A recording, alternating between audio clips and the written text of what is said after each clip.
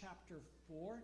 Um, the page is listed in the bulletin for the Pew Bibles.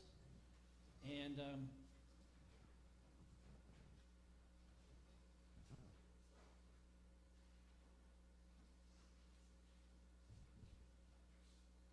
last week, um, we had a guest preacher here, um, Adam Miller. He spoke and encouraged us about leaving a gospel legacy um, for those who come behind us, for those that will uh, come to the Lord, be influenced by our lives. He said it's so important to leave the gospel behind, um, and uh, and that we are to live our lives um, by living out the good news of Jesus Christ. And um, great message.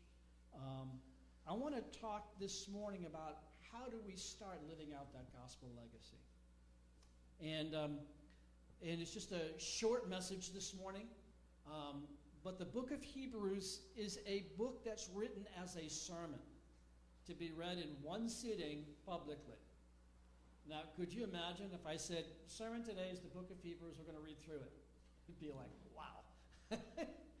but, uh, but that's how it was written. And um, the theme of the book of Hebrews is very simple it's the supremacy of Christ, and the sufficiency of Christ is our high priest.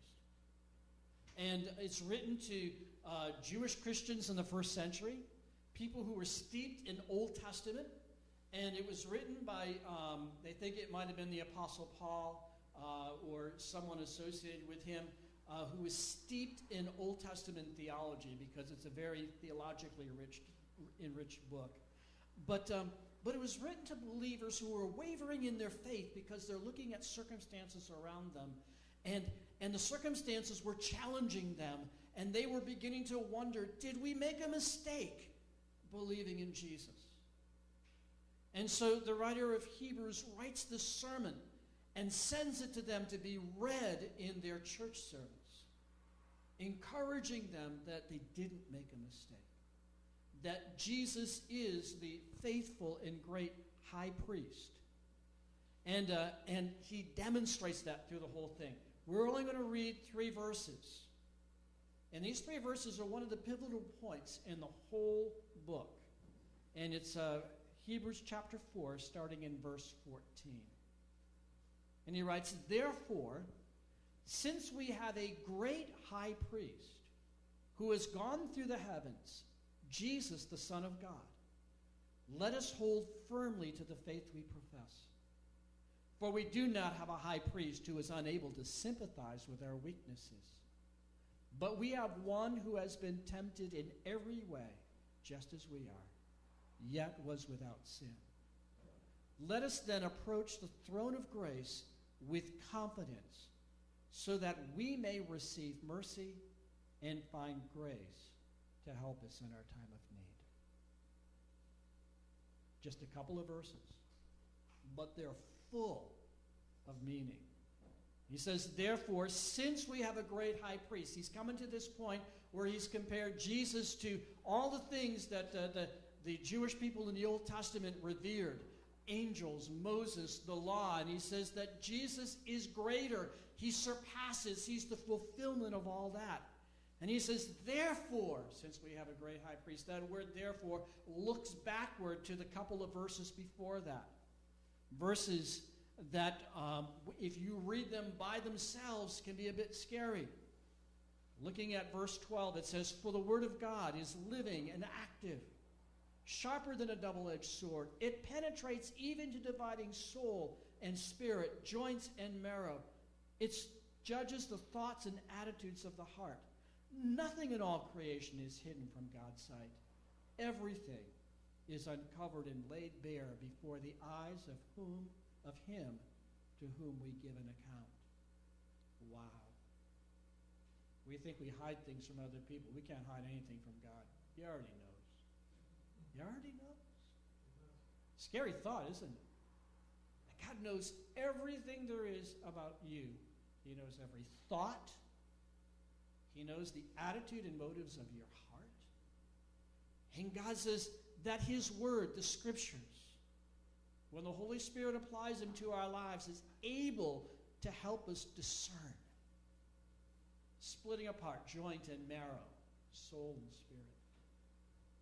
And we read that and we go, oh my goodness. I want to run and hide from God. I, I, I want to be far away from Him. I, I don't want the King of the universe, the Holy One, the Judge of everyone, to see me. But the writer of Hebrews says, no, we have a great high priest who has gone through the heavens Jesus, the Son of God. Though everything is laid bare before God, He sees everything. We have someone who understands us. Jesus, who is the Son of God, He is God who became uh, man in every way, yet retained His divinity. He's God incarnate, God in the flesh. and He says, Jesus, the Son of God, is our high priest. He has gone through the heavens. What does that mean? It means that, that Jesus has entered into the eternal sanctuary. Now, you're going to have a little background. A high priest in the Old Testament was someone who represented the people of God, Israel, before God. And, um, and they would have sacrifices that God said they had to do. They would sacrifice lambs and rams and bulls and, and a whole sacrificial system in order to pay the penalty and cover up the sin of the nation.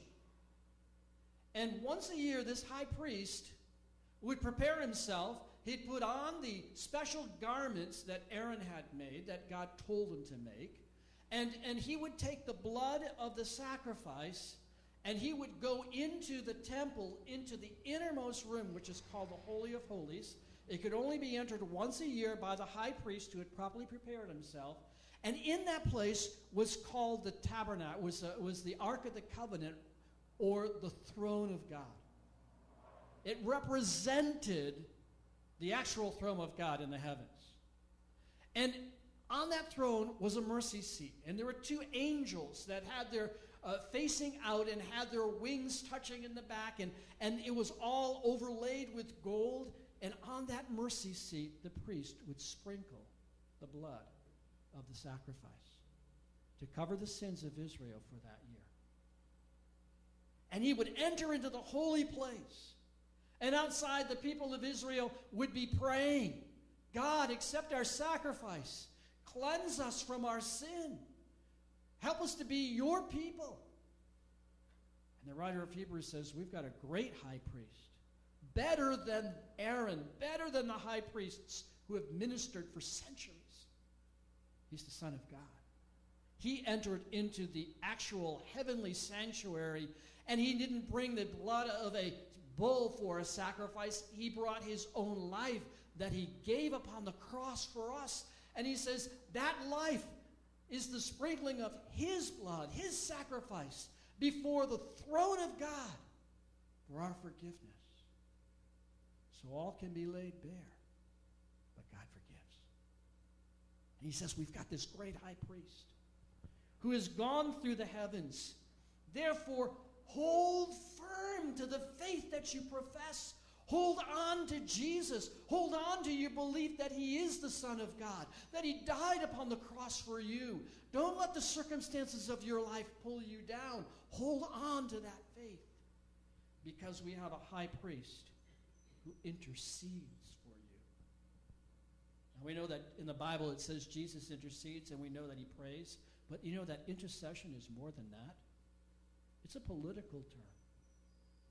It's a term that says if you've gotten trouble and you've got an authority that you have to answer to, and someone come and intercedes for you, they come and they stand between you and that authority and they seek to mediate peace.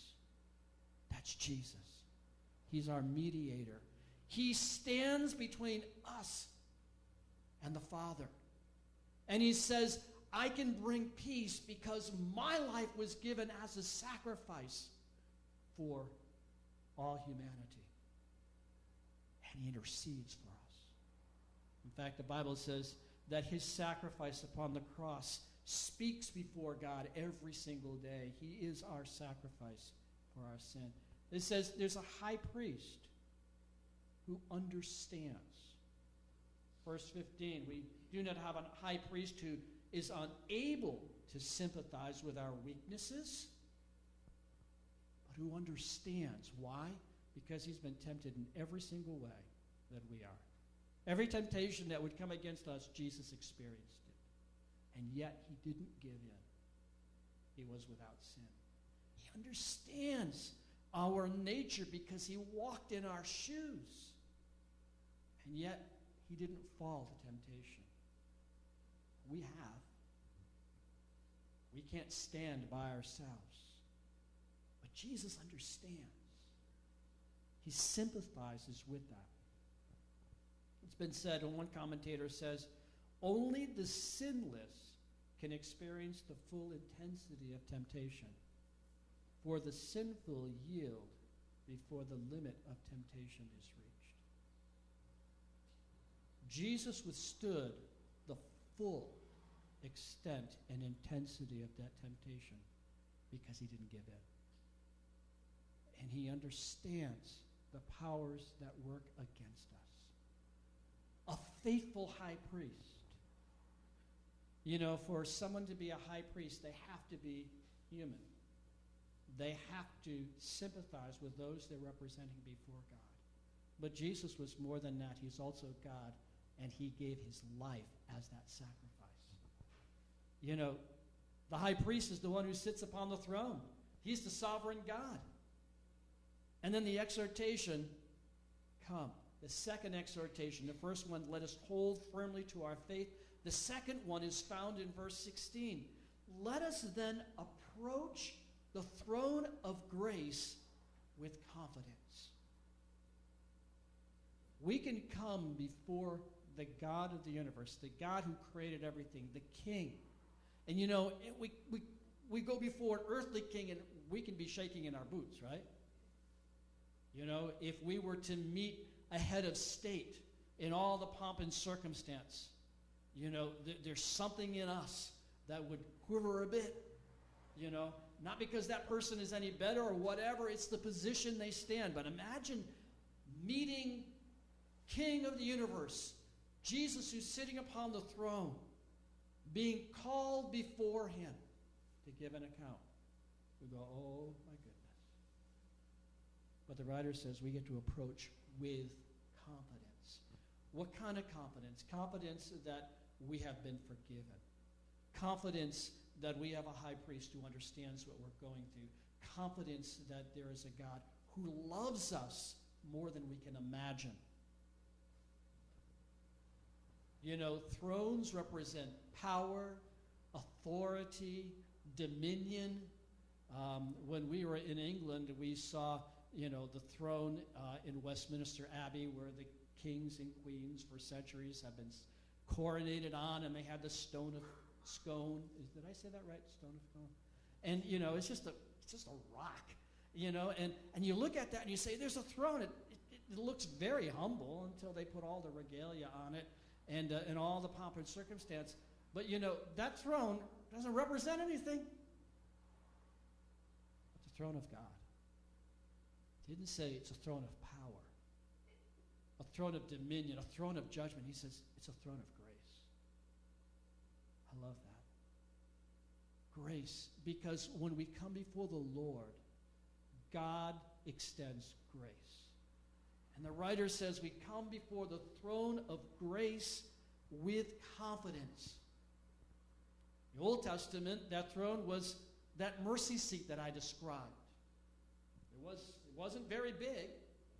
It was the Ark of the Covenant. They could carry it on poles. And there was a seat in the middle that was the throne, and it was called the mercy seat. That the throne of God is the mercy seat, it's the throne of grace. It gives us confidence that we can come because of what Jesus has done for us. And if we believe in Jesus, and if we believe in who he is, and if we believe that his death upon the cross does cleanse my sin. We can approach with confidence before God, and we can come before that throne every single day. And he says, Let us approach the throne of grace with confidence. Why? So that we may receive mercy. How many people need mercy? we need mercy from one another. But you know, if God can extend mercy to someone, I can too. That's why the Bible says we get to love our enemies. Not always easy. But God says, I give you mercy. You know what mercy is? Not getting what you deserve. And we look at that and we say, I deserve this, Lord, but I'm coming to receive mercy. And He says, Yes, I'm giving you mercy. Jesus says, I died for you. My sacrifice is more than sufficient to cover your sin. We receive mercy and we find grace to help us in our time of need. Now, with mercy, when the king extends his scepter, he says he accepts you. Jesus extends his scepter. When we come to him and we come and we say, Lord, I've sinned. You know, Lord, I've made a mess of my life. Lord, I've done things. And he says, I forgive you. And we receive mercy and we receive forgiveness. The scepter has been extended. But he says we find grace. Grace is different than mercy. Grace is the blessing that God gives once his mercy has been given. Grace is the empowerment that God has upon our lives that we might then live our life for him. Now, I want you to think everyone remember the prodigal, the parable of the prodigal son? You know, the, the kid who took the father's inheritance, went away and, and, and wasted it and, and spent it and uh, found himself poor and destitute in a foreign land feeding pigs and thinking, oh man, if I go back to my father and just ask for mercy, he'll let me be a hired hand in his house and it'd be a whole lot better than where I am. And so he went home seeking to ask for mercy. And he says, Father, I've sinned against you. what did the father do? He ran out and hugged him and he said, My son was dead and he's now alive. And what did the father do? He gave him mercy. He says, Yeah, you're forgiven, but then he gave him grace. He restored his sonship. He gave him a cloak. He gave him a ring of sonship. He put shoes on his, uh, on his feet. He threw a party. He says, My son is back. He didn't say, Hey, we got a new servant. He's getting his just desert. But he showed him grace. Grace is God's blessing upon us. You see, when we come to the throne of grace, we receive mercy. God forgives us. And oftentimes we look at that and say, Yeah, I'm glad I'm forgiven, but you know, I've blown it. God can't use me. Look at what I've done. God can't use me. I'm glad I'm saved. I'm glad I'm, I'm in the kingdom. I'm glad my sins aren't being counted against me, but that's about all I can hope for. I'm going to slip inside the door of the kingdom and, and just I'm glad I'm there. But you know, that God doesn't say that. He says, at the throne is also grace. Grace is where assignments are given. That God says, I'm not done with you yet. No matter what we've done with our lives, no matter where we are, no matter what other people think, no matter even what churches think, God's not done with us. And He says, I give you mercy, but you're going to find grace. And when we find grace, we have to take it we have to run with it. And God gives us an assignment. And that assignment is His power flowing through our life. It's grace. So I want to encourage you this morning to approach the throne of grace in your quiet times, in your times of prayer. When we come for corporate worship, we come for Bible study, we come together before the throne of God I want you to come with confidence. Because there you can receive mercy and you can find grace. And when grace is released in your lives, you're going to find yourself able to do what God has called you to do. And Jesus said that we're going to do greater things than he did if he goes to be with the Father. Let's pray. Father, thank you just for this truth that there is a throne in heaven called the throne of grace, and you call us to come. Come before you every single day. Come and receive mercy and find grace. We thank you, Jesus, that you're our great high priest, that you have given your life as a sacrifice. that you represent us before the Father, and that you are the one who heals our lives and intercedes, is the mediator. Lord, we ask that you would give us that confidence. And if anyone here hasn't put their trust in Jesus, I pray that you would lead them to do so. For we ask it in Jesus' name. Amen. Amen. Well, I'm going to invite the group to come and share some more music.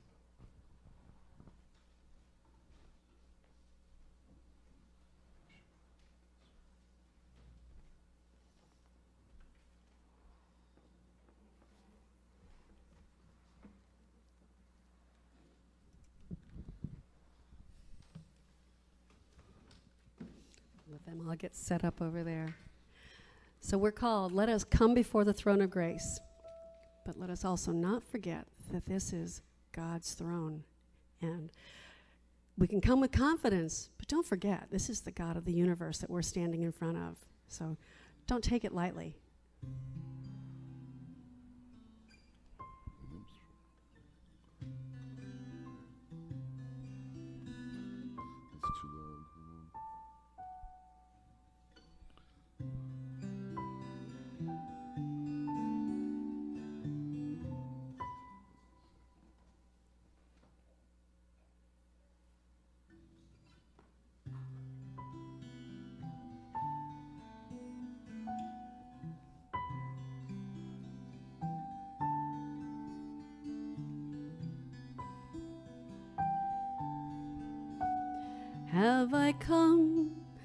Casual. Gotta start. Wrong place. There we go.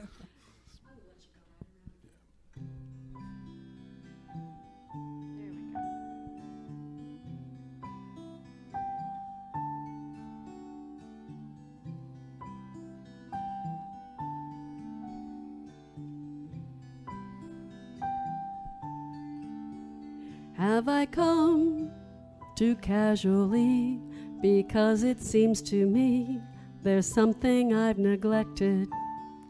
How does one approach a deity with informality and still protect the sacred?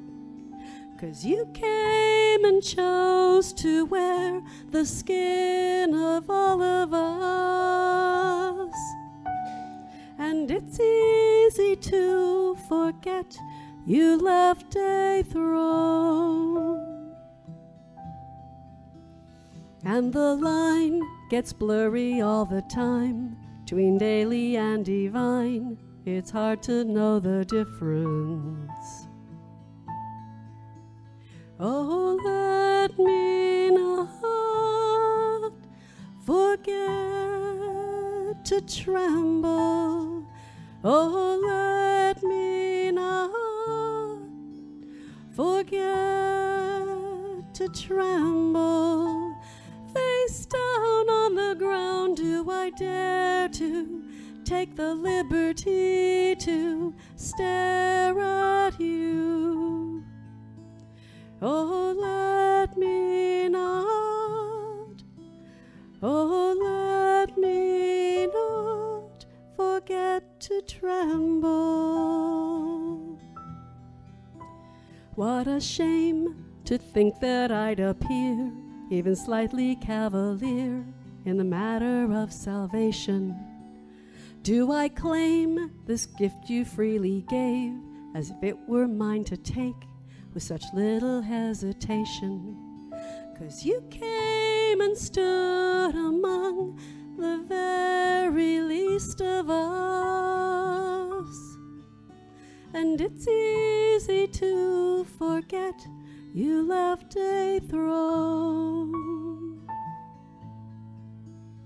Oh, let me not forget to tremble.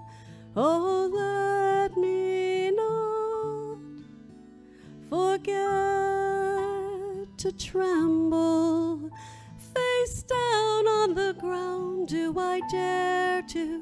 take the liberty to stare at you. Oh, let me not, oh, let me not forget to tremble. The cradle and the grave could not contain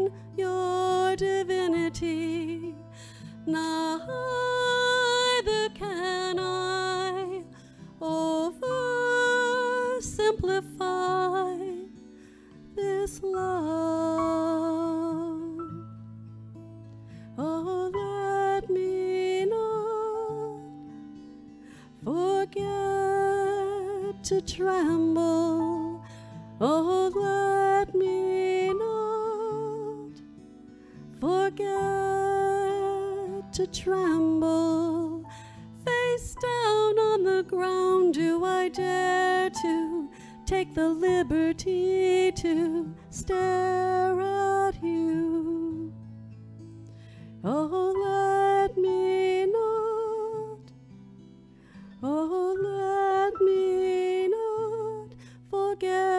tremble.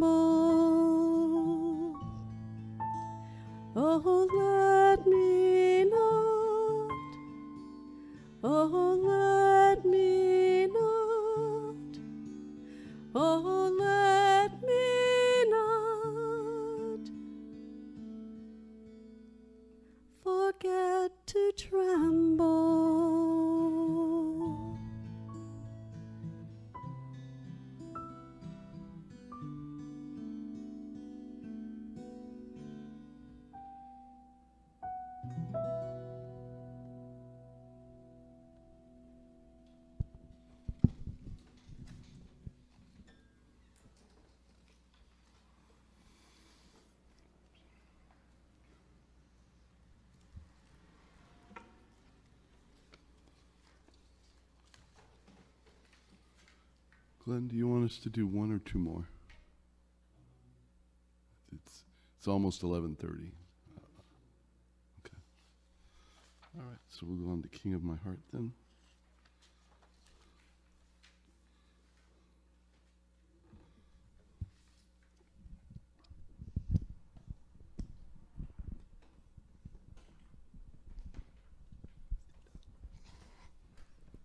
We'll see if I can see the music. Being 62 does things to your eyes.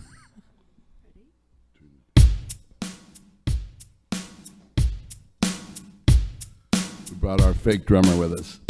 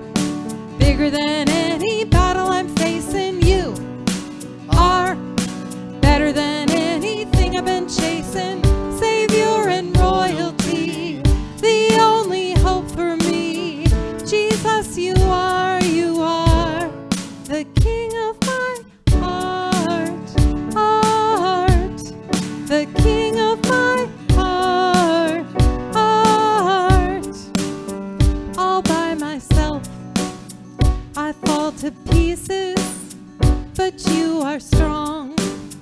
When I am weakest, I feel your kingdom come alive in me. My feet are bruised, but they'll follow where you lead. Cause you You are are, bigger than any battle I'm facing. You you Savior and royalty, the only hope for me. Jesus, you are, you are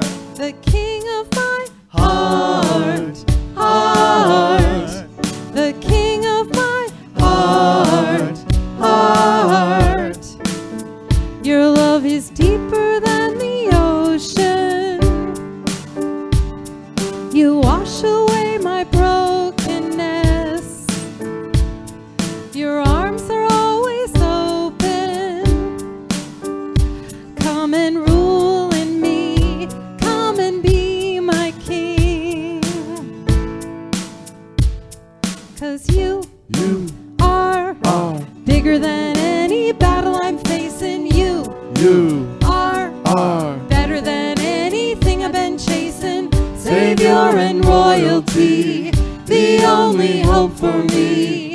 Jesus, you are, you are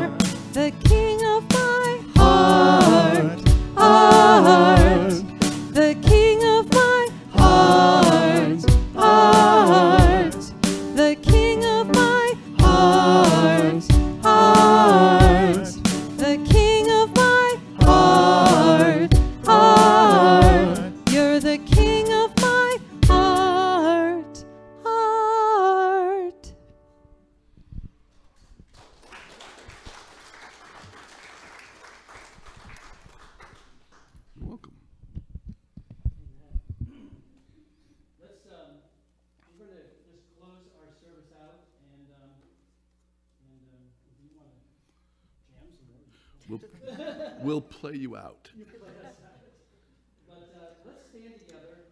Um, our benediction is taken from, um, Hebrews chapter thirteen.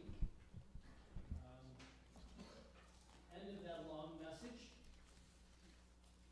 And, uh, and the writer of Hebrews says in, in verses 12, uh, 20 and 21, he says, May the God of peace, who through the blood of the eternal covenant brought back from the dead our Lord Jesus, that great shepherd of the sheep, equip you with every good thing for doing his will. And may he work in us what is pleasing to him through Jesus Christ, to whom be the glory forever and ever. Amen. God bless you. Yes. I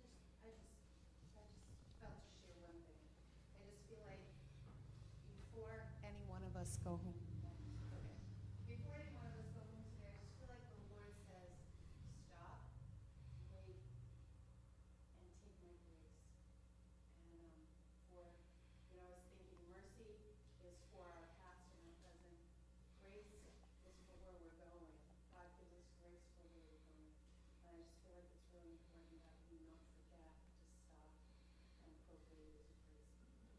Mm-hmm.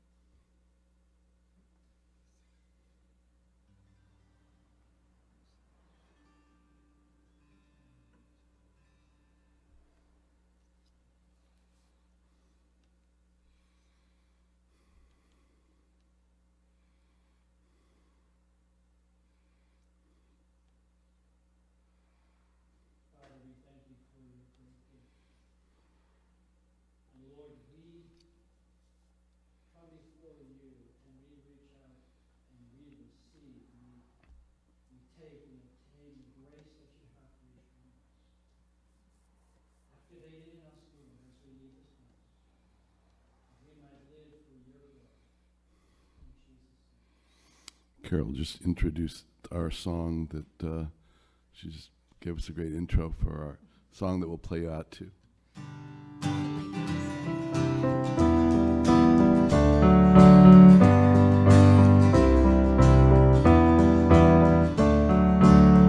You heal the brokenhearted.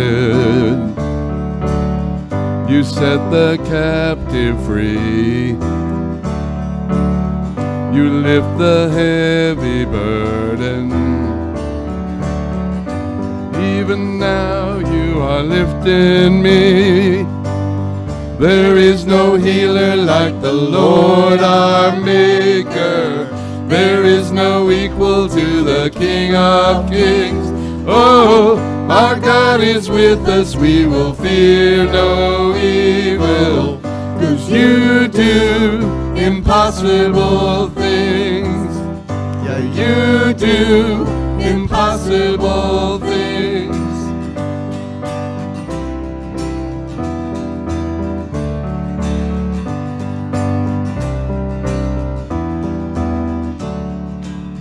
Though I walk through the valley, darkness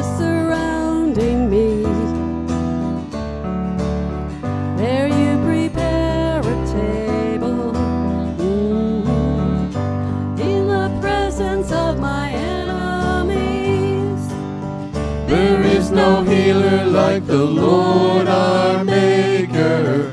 There is no equal to the King of Kings. Oh, our God is with us, we will fear no evil.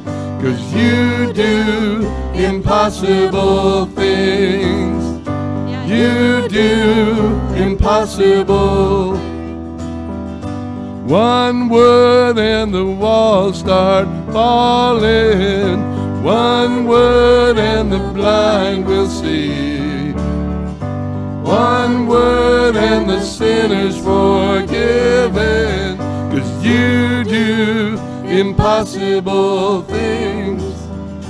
One word and the walls start falling. One word and the blind will see. One word and the sinner's forgiven. Cause you do impossible things.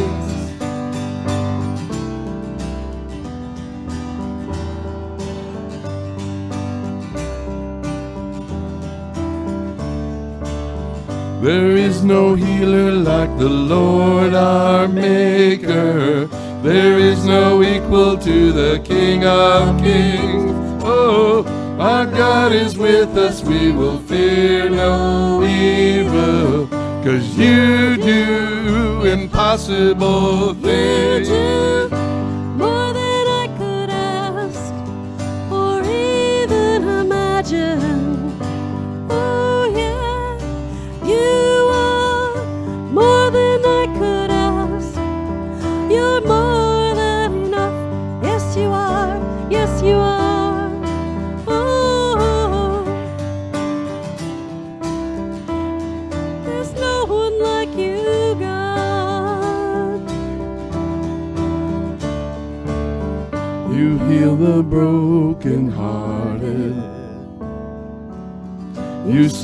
Captive free. You lift the heavy burden. And even now you are lifting me. Yes, even now you are lifting me. Cause you do impossible things. Cause you do impossible things. Thanks, guys.